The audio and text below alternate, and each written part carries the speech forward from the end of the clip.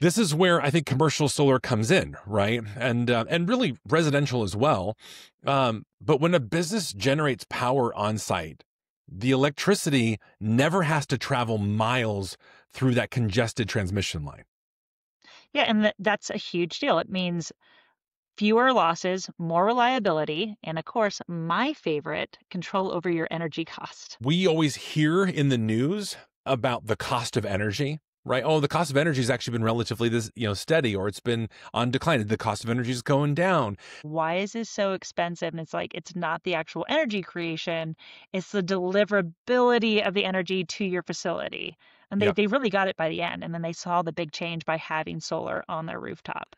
Um, There, there was a, an agricultural, an indoor agricultural um, plant, and the the building that they've built in, right? They can go vertical with Yeah. um, with their growing, um, you know, strawberries and all different kinds, lettuces and all different kinds of things in there.